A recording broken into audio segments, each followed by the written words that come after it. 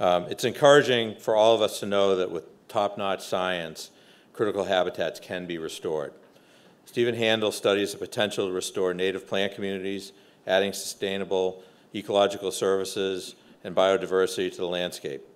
He does this painstakingly, painstakingly diligent work to study pollination, seed dispersal, population growth, ecological genetics, and often working in urban and, healthy, and heavily degraded environments.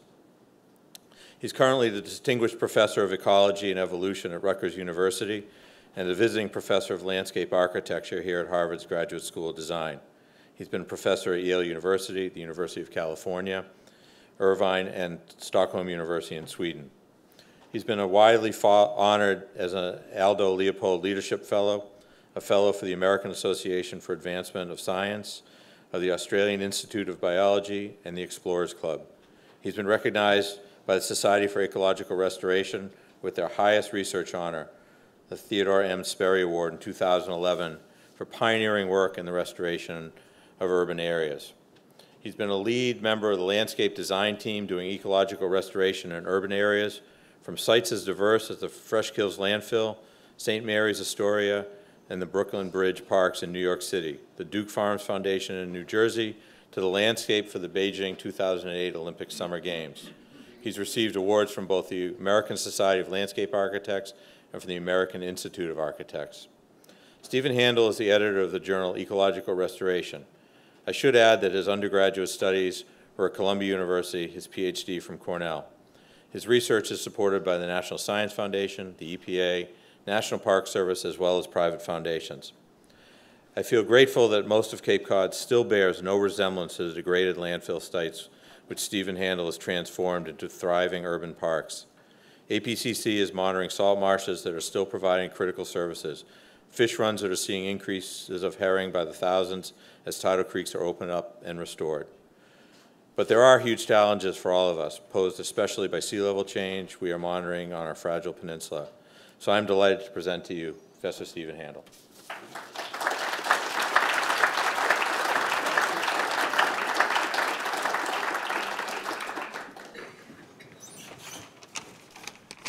Well, good evening, everyone, and thank you. That was an awfully kind introduction. My kids just think I count plants. They don't think I do anything else.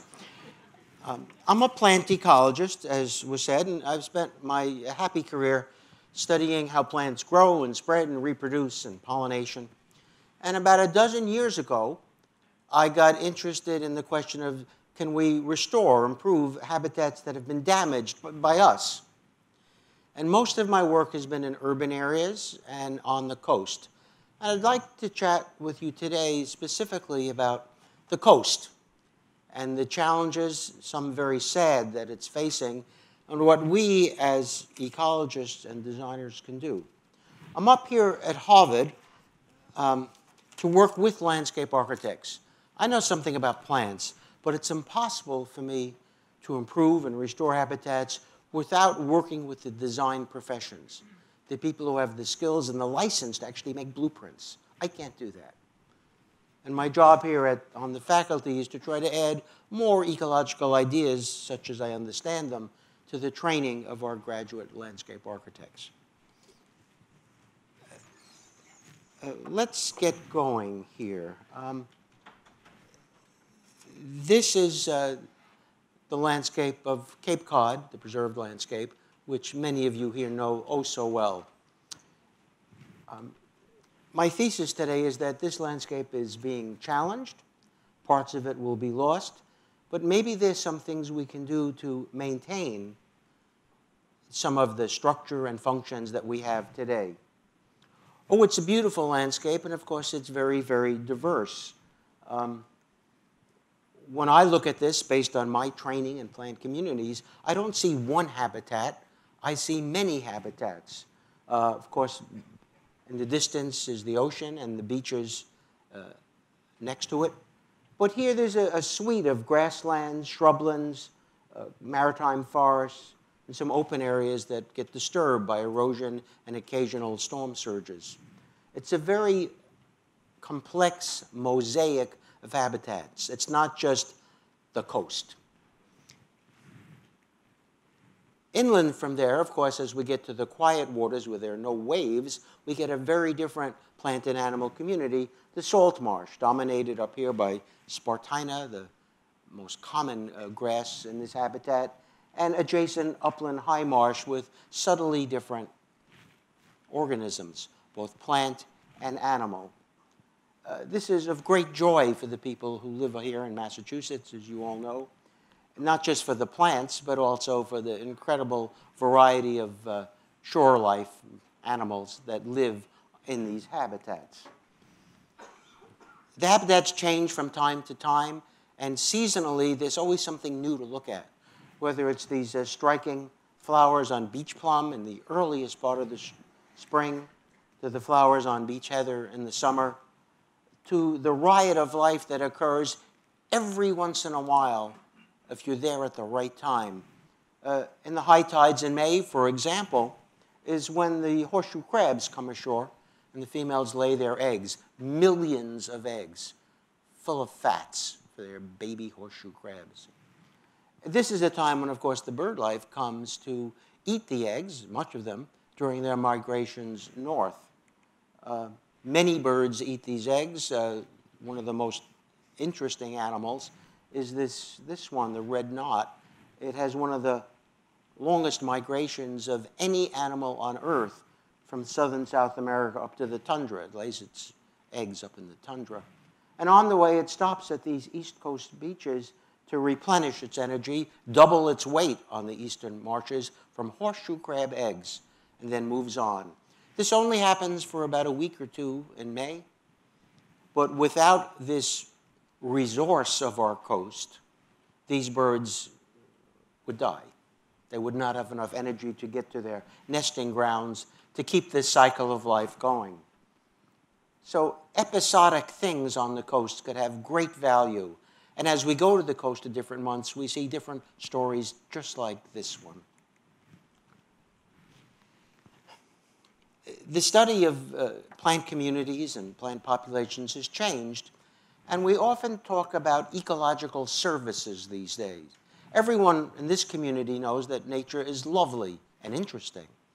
And we now talk about it also as useful, important for our civilization and for our way of life. And this has been a revolution of understanding and a revolution for someone like me is a botany ecology professor to explain why my career actually may be of some use.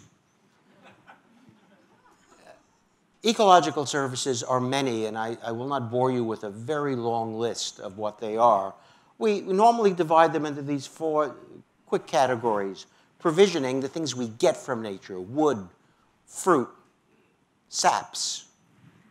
Habitat, meaning that the habitats themselves support thousands of animal species insects, birds, mammals, and so on. Regulating services, meaning that plant communities improve the physical world around us, cleaning and cleaning the air, making it moister,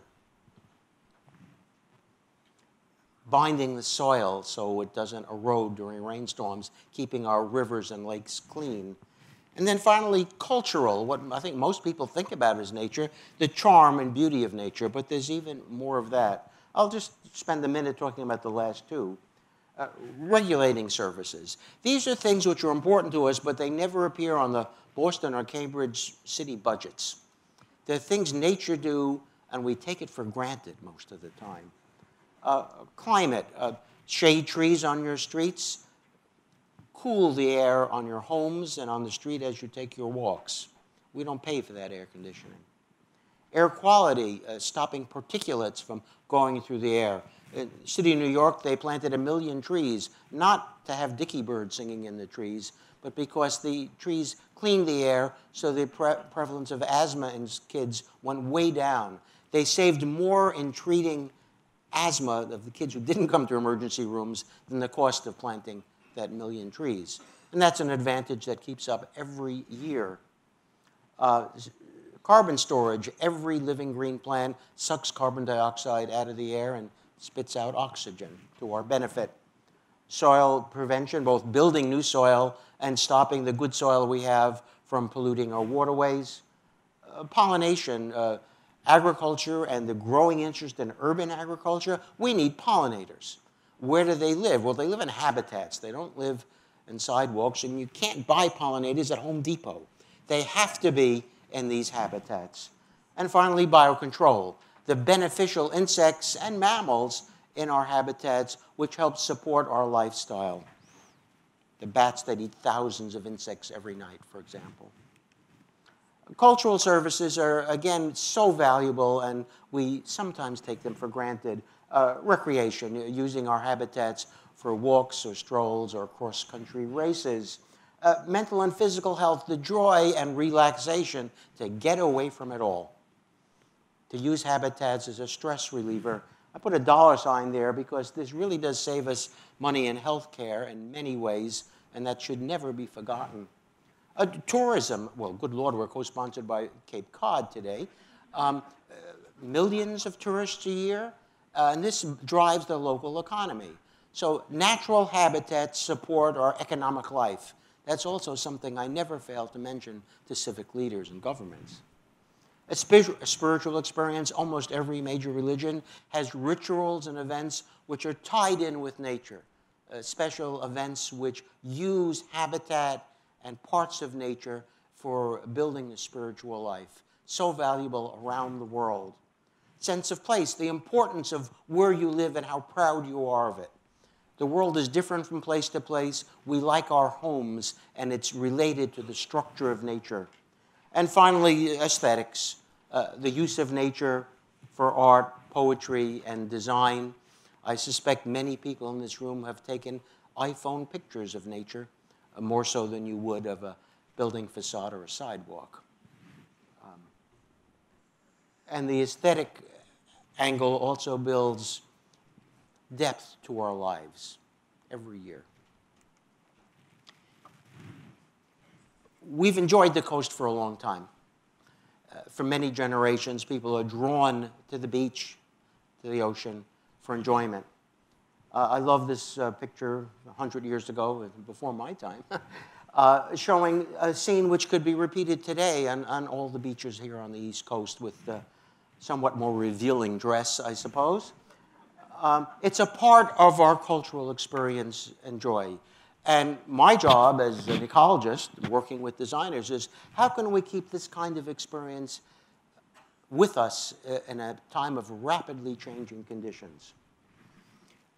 The other thing I'll, I'll mention briefly is that when I think about the coast, I don't think about that thin strand where the waves hit sand. I think about the coast as a much broader entity, a much broader habitat, which for persistence, sustainability, and health needs input from the sea and from the land. From the sea, nutrients, tides which shape the coast, bring in fresh sand, living things which give, uh, build a food web on the coast, migrations such as that of the red knot I've already mentioned, which are part of the life of the coast, and of course us, the things we do to the coast to damage it or support it, whether it's building jetties and piers or using it for fishing and boating and sitting in the sun and our social and cultural uh, activities and attitudes. We're part of the nature and health of the beach in a wide sense. From the land, of course, comes other resources needed to keep our coastal habitats healthy. Uh, freshwater runoff and nutrients from the mainland. Also problems like contaminants which damage the potential for biodiversity on the coast. Uh, species that use the inland area for parts of the year or during storms for a refuge. Uh, many species feed on the coast but nest and rest inland without a healthy inland, the, we cheapen the biotic nature of our coast. Uh, and of course, we are changing that inland area, which affects coast mostly in a negative way by building more homes and roads. We bring things to the beach which have various impacts.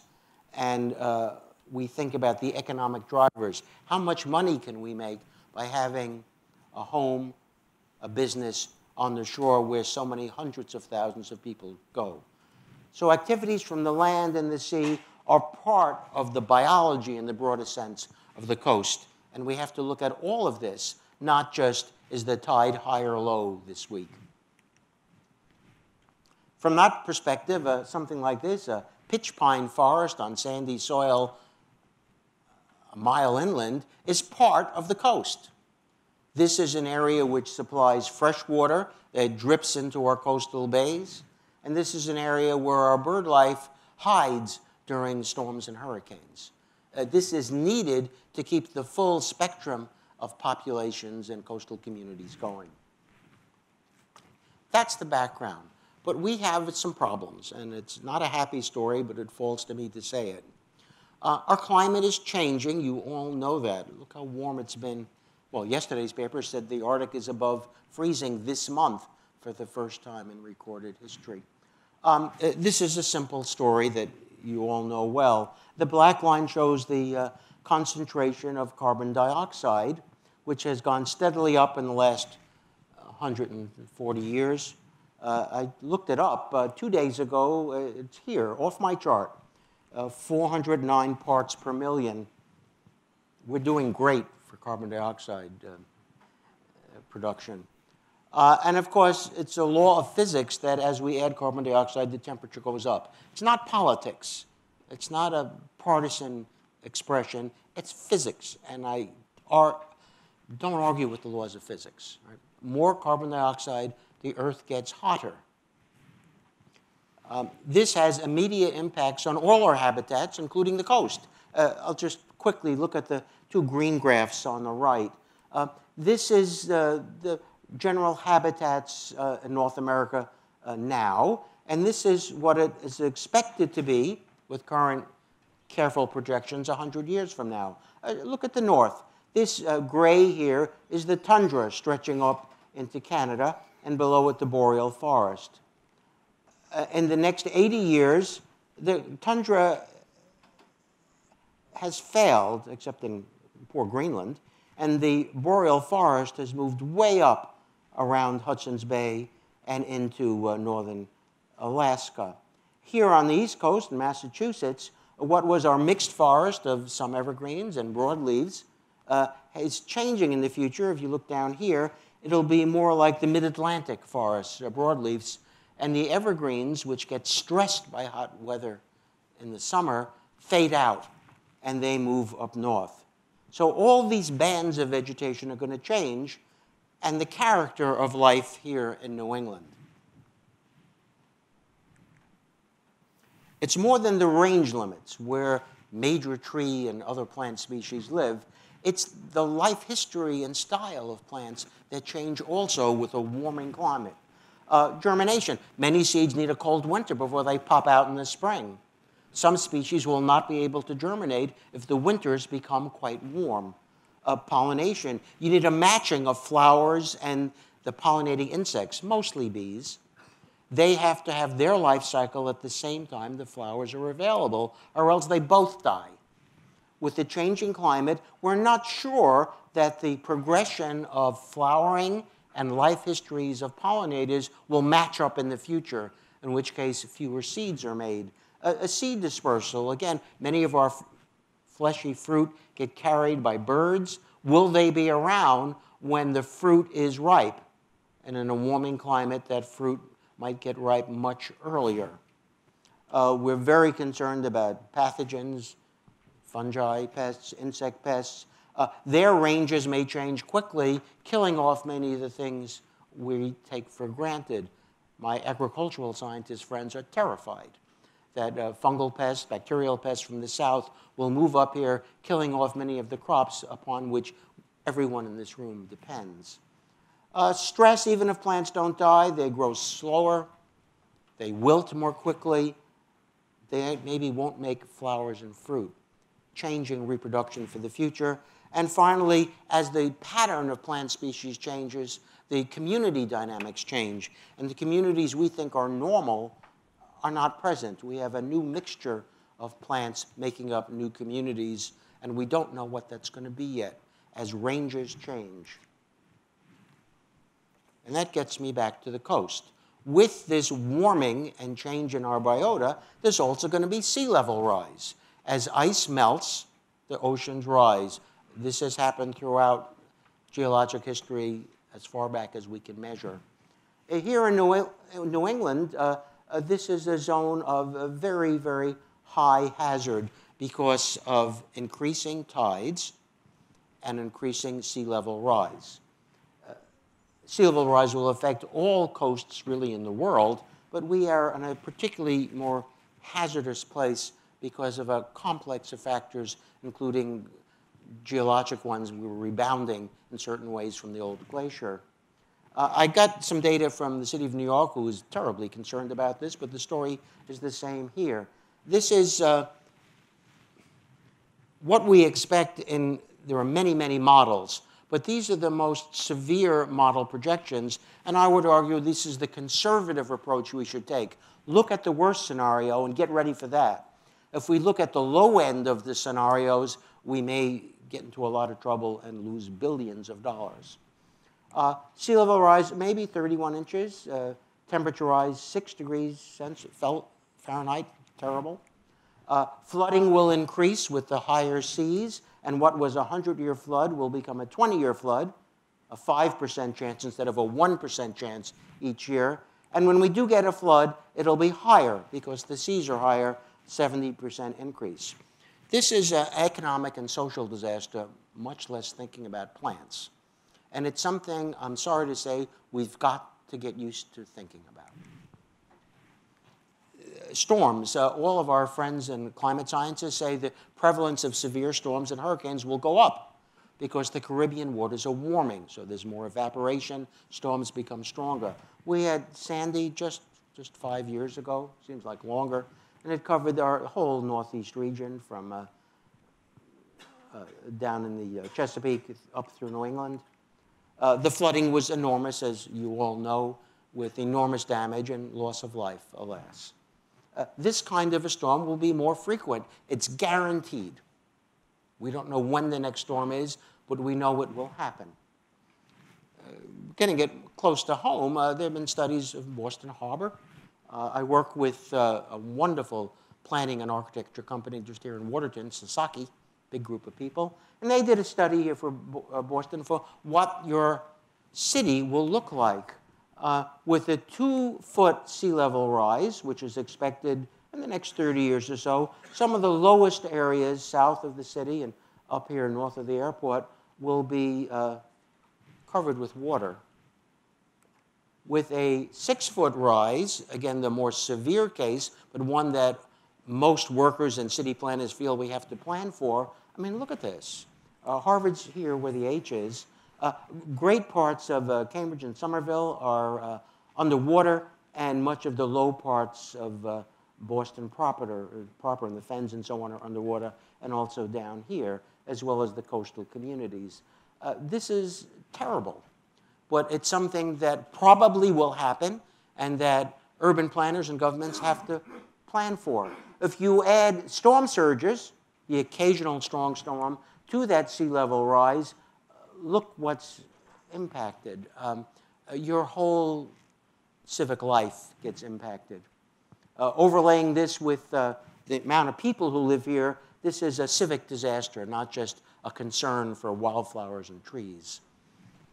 Uh, this is something every coastal city has to now deal with because it will take years to build or plan remedies to deal with this. And of course, many, many uh, engineers and urban planners are dealing with this many, many different remedies. Some of it's built, whether it's uh, surge barriers or levees or new bulkheads that are higher than the ones around here Boston now, or green infrastructure, as it's called, uh, living shorelines of salt marshes and dunes, which absorb some of the energy of storms and help protect the, our cities and residences behind it. This is a worldwide preoccupation of environmental engineers and planners, and it's happening here too. But let's get back to uh, Cape Cod. Uh, this is the uh, landscape now. And of course, the shape of Cape Cod has changed enormously uh, over the hundreds of years. Uh, the shape of uh, Provincetown area, the shape of the landscape down there by Chatham and Monomoy. Um, much of this is protected as a national seashore. but some of it is heavily populated. Uh, the yellow colors here are where people live, and you see the whole southern coast is our biggest communities, as, as you know, and another population center here. Uh, this uh, great beach is a national seashore and has been left substantially alone under federal law. This is what the Cape looked like 200 years ago. And of course, the diagram is really quite different. The shape of the Provincetown hook, uh, the size of the marshes here on the south near the elbow, and the whole profile of the southern shore. Let me go back one slide. There, 200 years ago. So the story is of landscape evolution, of change. Change is normal for our coastal habitats. And with sea level rise, the change is happening more quickly. If you go back even further, the change is dramatic, underscoring the idea that don't think that today's Cape is what it was and will always be. Everything we know is different. The red here shows us today's landscape of the Cape and adjoining mainland. Uh, 12,000 years ago, there was still a large glacier that was melting on North America. So the land is shown here in beige. All of this was above water. And the Cape and the islands were embedded within that landscape.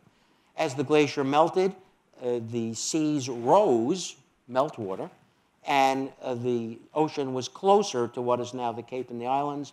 8,000 years ago, the islands now appear as separate landforms, and the Cape is not what it is today, but it's getting there. This is the past, and we have to think today about the future. Um, uh, this is a map I found of lands at risk from sea level rise. Everything in uh, red is at risk with one foot of rise, and yellow and orange is at two and three foot of rise. So our big population centers on the south coast are at risk.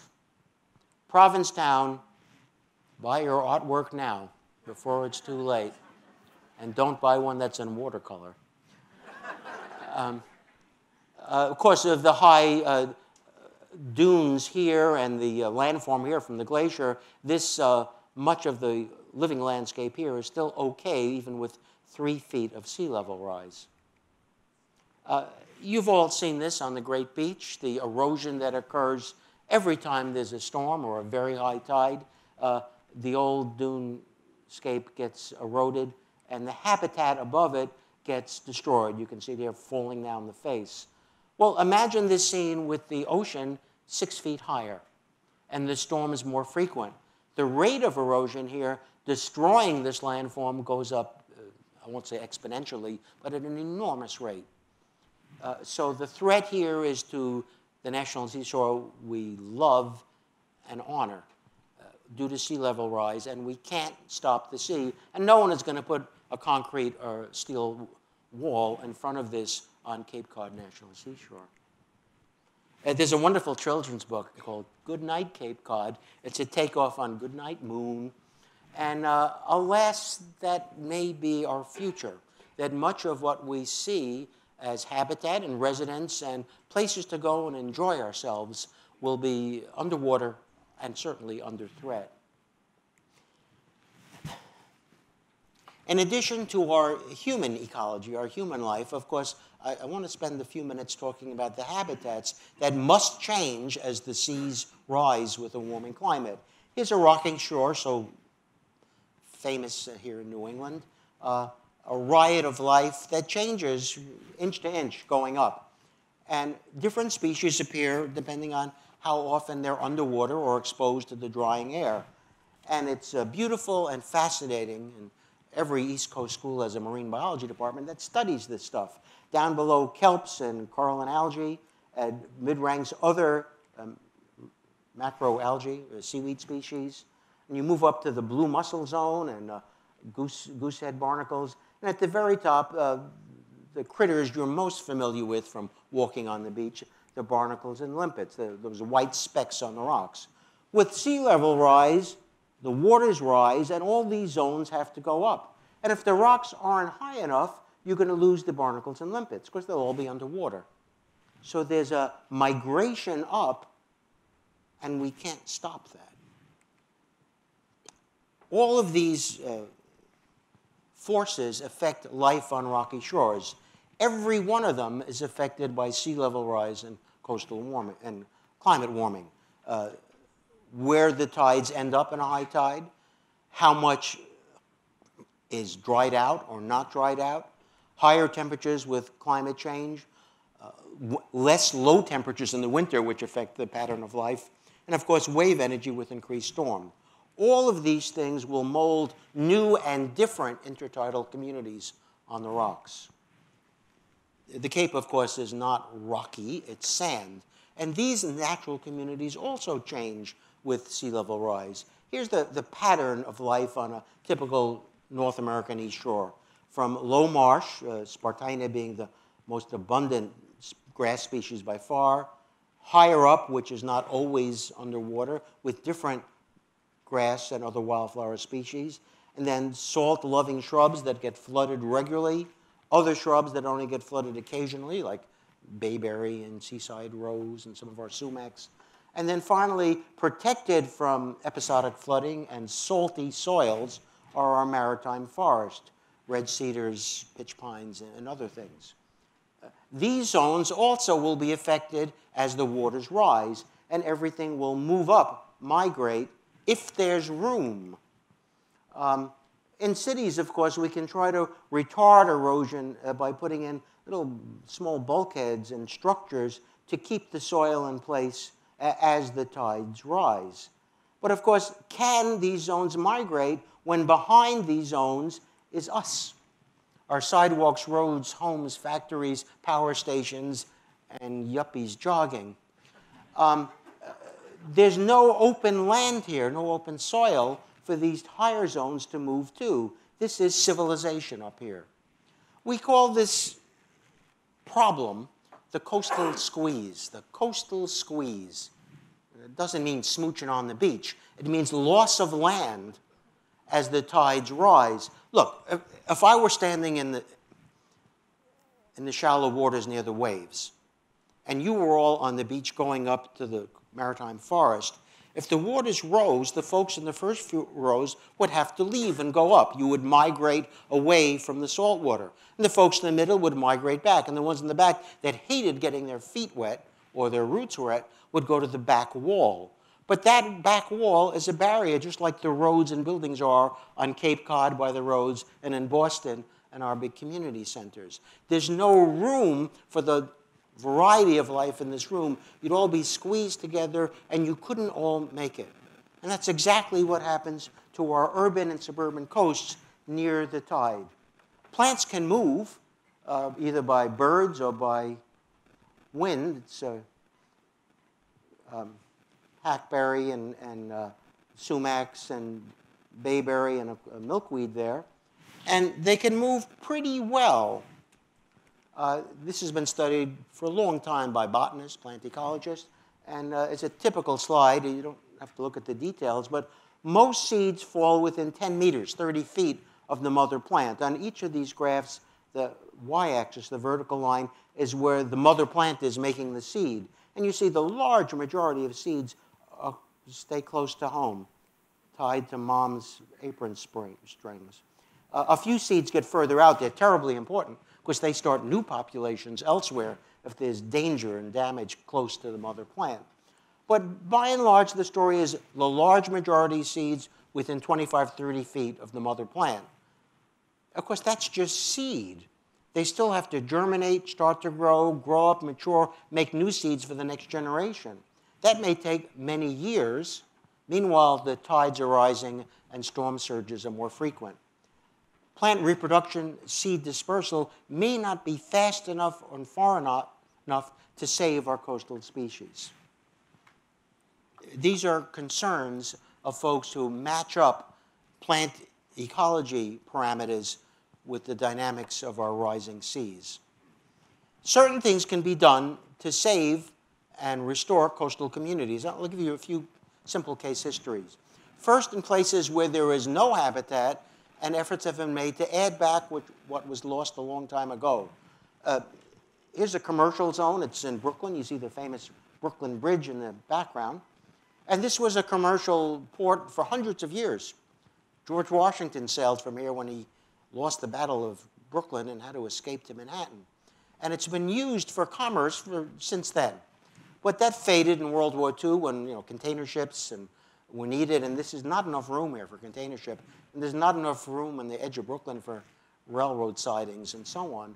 So commercially, this failed. Um, I don't want to say failed. Commercially, it was outdated, and shipping moved elsewhere where there was more room for modern facilities. And this stayed fallow for decades. Oh, the city would make a few bucks renting parking spaces and warehouse space. But look at this picture. There's nothing alive here. Nothing. What was the magnificent coastal community that Henry Hudson saw in the early 1600s is long gone.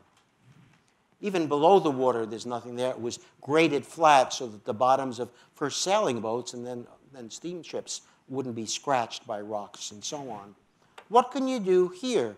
Well, uh, the landscape was changed by the city and state into a public park, now called the Brooklyn Bridge Park. The design was uh, led by Michael Van Valkenburgh, who uh, is a colleague in the landscape architecture department here at Harvard. And he's sensitive to plants. He likes plants. And the meadows here are species which can tolerate occasional saltwater inundation when there are storms. And there's many, many lovely species that can live there.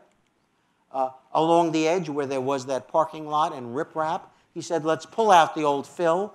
He made a new salt marsh of Spartina where there had not been one for 200 years and made a promenade where the asphalt was and added some coastal woodlots of plants that could tolerate the salty winds which go through the harbor.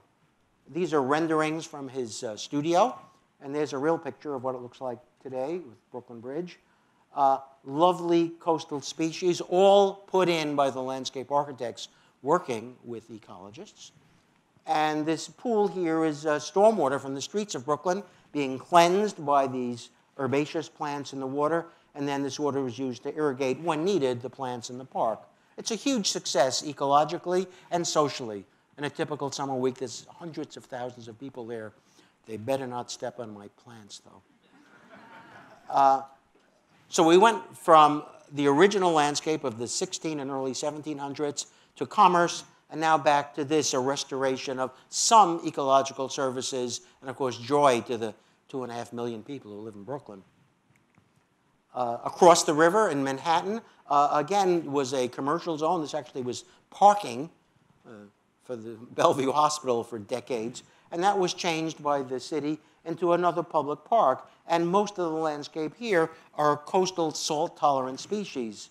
Uh, this very modern, uh, snazzy design by Ken Smith, who also is an occasional professor here at Harvard's Graduate School of Design, and uh, working with native grasses, wildflowers, you can see the uh, goldenrods here, and coastal salt-tolerant trees. So a restoration of ecological service and a joy to the many people who live and work in downtown New York. Above that, on, on a, uh, a, terrace, uh, more of the same, uh, coastal grasses, black locusts, and so on, uh, a representation of the natural heritage, the culture, the sense of place that New York's coast once was. Here's another example of a construction that can be sensitive and bring back these natural resources. Um, this is Jamaica Bay near Kennedy Airport, uh, flights to, around the world. And of course, there's a road that goes around this bay, getting a gazillion commuters and people to the airport. Uh, the road had to be rebuilt because it was old. It was built uh, by Robert Moses in the 30s. Um, and this was an opportunity. This landscape once was all salt marsh. And you see that picture from uh, about 150 years ago. This whole edge of Brooklyn was solid salt marsh. Brooklyn itself was agricultural, famous agricultural area. That's all changed. Uh, in time, people wanted to get to the bay for commerce, and a rail line was put in for fishing and oystering. This was a huge oyster fishery until the bay got polluted. Millions of bushels a year. And around the commercial zone, of course, was uh, uh, homes and stores and processing. Eventually, this was all filled in, and there's no salt marsh at all. And that Belt Parkway I just showed you runs in here. Well, when the road was being built, there was an opportunity and also some money because roads cost so much to rebuild, there was a little left over for landscape. So around the new road, we said, look, instead of the junk that's been there for 50 years, let's bring back some of the natural heritage of species. So, you know, some species next to the water, some higher up, listening to that zonation of plant communities. And behind the road, much protected from storm surges, uh, other plant species which rarely get hit by salt water. And it's a rich mix of species that could be and was installed here. Again, an ecological upgrade as well as rebuilding a road which was crummy. Well, what about the future? I mean, that's a, a few nice stories from here and there. But can we do more looking forward, knowing that the seas will rise so much? And we started looking closely at this bay. The perimeter of the bay is about 20 miles, 22 miles. It's a big piece of water, with the rockaways uh, down at the bottom facing the Atlantic. We looked, where are there salt marshes today? And here and there, there still are some. It's a very shallow bay. We said, what are the lands that are adjacent to salt marsh where those marsh plants could migrate to as the waters rise? And that's what you see here in uh, brown and in purple, land adjacent to salt marsh that could be the home for a natural plant migration. But it's only here and there. And no one's going to allow salt marsh on Kennedy Airport. It, it slows down those planes when they're taking off. Uh, and much of Brooklyn, as you see, I mean, it's built. There's two and a half million people in Brooklyn and uh, about three million here in Queens. Uh, no one's going to say, hi, folks, time to leave. We need room for Handel Spartina grasses. It, it, um, I don't even try that. And we said, well, look, this is some opportunity for maintaining coastal habitats for the really millions of birds that use the bay during migrations, we looked behind it and we said, there's other lands which have never been branded as habitat that could become habitat. And each little dot here of green and the bigger areas represent landscapes that are mowed lawns and privet hedges and rose bushes that could be coastal habitats, could be part of the Jamaica Bay ecosystem. If we convince people it's worth putting bayberries and rose, seaside rose and amelanchier in on their lawns instead of the traditional horticultural plants, which have trivial ecological value and trivial value for the wildlife, which is the right of this bay. In other words, we want to tell people, look, you live 10 blocks from the bay, but you're part of the bay ecosystem. And let's express that with beautiful plants, not just things which a nerdy professor thinks you should plant here. So it's a good idea, and we've started this outreach public education program, uh, telling people they should think about plants they've never thought about as the coast itself gets destroyed by sea level rise. Of course, the immediate question came up to me is, well, that's a nice idea conceptually, but would the lands back here away from the sandy shore be appropriate for these coastal species? So we did some tests. And around the bay, uh, all corners of the bay, we put in a series of experimental plots of coastal species just to say, would they live away from the actual tidal zone of today? And we did this with some care. Uh, these are the plants we put in. I chose of the huge palette or selection of coastal species the ones that were prettiest, because I want people to care for them. Say, hi, honey, I'm so glad we have seaside goldenrod. It's, it's, things that they probably don't even know the name of today instead of petunias. Nothing against petunias. Um, uh, these are the species in English and what, what they look like. And uh, we did a series of plots. We had 10 locations and four of these experimental plots in each location. And it was a schlep and a lot of work. Uh, growing up plants in the greenhouse at the university, uh, planting them out with uh, students. They, they are paid. We pay the students. And, uh, and then measuring and counting to see how do they do? How do they do? Uh, this was how we arrange things. It does, as one of my students say, look like a giant game of Twister, where you, you know, put your arms and legs down in different positions. But it's not a game of Twister. It's a modern plant ecology experiment. Um, we had four treatments, as in agricultural experiment, really. Two of the plots, we tilled up the land before planting. Two, we didn't. And this plot, we weeded regularly, this one we didn't. We weeded regularly, here we didn't. My point was, what's the cheapest way we can restore native landscapes? I can't tell homeowners or the city of New York, please spend money on wildflowers near the coast instead of hiring daycare teachers and cops. Uh, uh you have to be practical and pragmatic in restoration ecology, or else you're wasting your time. So what's the cheapest way to restore ecological services in the landscape? And we'll find out. The experiment's a year and a half old. At the moment, there's no significant difference in growth and survivorship, which is sort of exciting to me. That means we don't have to till, we don't have to weed. They do fine. These are tough plants as long as the soil is sand, sandy. We'll see what happens in the next two to four years if that's true. And then I'll go to the mayors of New York and parts of New Jersey and here and say, this is how you can do it without spending much of your precious tax dollar or donations to nonprofits like the association. Uh, next thing we said, well, look, if we leave things alone, maybe the plants will just retreat, move themselves. We don't know this. So we set up some long-term transects, going to the remnant habitats that we still have, laying out lines and recording what plants grow every centimeter along this line, 100, 150 meters. And then we're going to go back in three to five years and say, what has moved? There's occasional storms and high tides. Which plants have died? Which have been able to disperse and get established quickly to stay a step ahead or a few centimeters ahead of the high tide?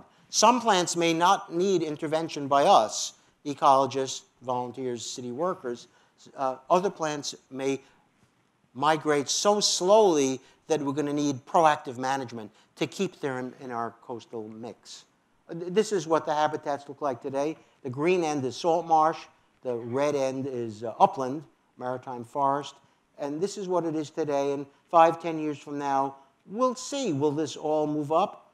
Will we move some of these habitat, lose some of the habitat types, and then have to think of a new approach? Well, finally, I want to show you some other design um, possibilities for this landscape.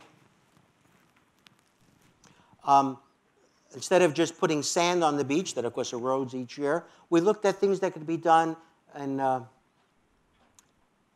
barrier islands, ocean, sand, bay, mainland, uh, headlands, ocean, mainland, inland bay, water and headland, but away from the waves. There's still sea level rise and storm surge, but no waves, low energy. And of course, there's some very simple solutions to these things. Uh, this I did with landscape architects at the Sasaki Company here in Watertown. A quick example. Here's Asbury Park today. Uh, beach, lakes which are degraded and polluted, and a town. It's uh, Bruce Springsteen's home. We're very proud of that. Um, what can be done in a, in a, situation like this to improve ecological services? Lots of things. Uh, I won't go through all of this. Uh, lakes can be improved, streets can be made green. I want to just focus in here on the, the, the beach itself, uh, which is of great interest to, to most of us. Uh, this is a typical boardwalk on the East Coast today. Uh, oh, it's good enough for walking and skateboarding, but it's uh, dead to my eye. usually the beach is graded flat, nothing on it, and they even rake away the rack after the high tides, which makes it neat and clean, but it's terrible for wildlife. The rack contains dead clams and dead fish, and this is what the birds eat. So ecologically, this is a zero. And behind the beach, again, it's graded flat because it's used for parking during busy weekends. Uh, Sasaki said, well, let's, let's do this, working with you. Make the boardwalk itself more charming, more striking to attract people, and around it, put in uh, restored habitat. Don't grade it flat, undulate it for grasses, other coastal species. Make some low points that pool water, which is good for invertebrates, brings in the shorebirds who hunt there. Behind the boardwalk, berm up the land, put in all those woody species that don't tolerate regular flooding, and suddenly you have a living landscape. And of course, as the wind blows, these fences and these grasses trap sand, so the dune goes up and up and up. It protects the city behind it. And here's a, a rendering of what that can look like a nicer boardwalk and this riot of life in front of the folks walking here. Here's another landscape approach Barrier Island. Uh, this white line is the land today, with a three-level rise guaranteed, much of the barrier island disappears. What was narrow becomes a string bean. On the mainland, the salt marshes are gone, and people are just back here. Any homes in here are gone. What could you do in a situation like this? Um, all the beach attractions are at risk.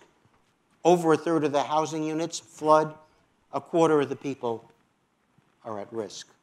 Well, we looked at this and said, well, how can we rearrange things? We never say retreat. Retreat means we've lost, we failed.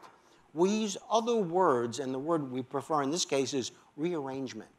Keep everything there, but in different places. Redo the mosaic.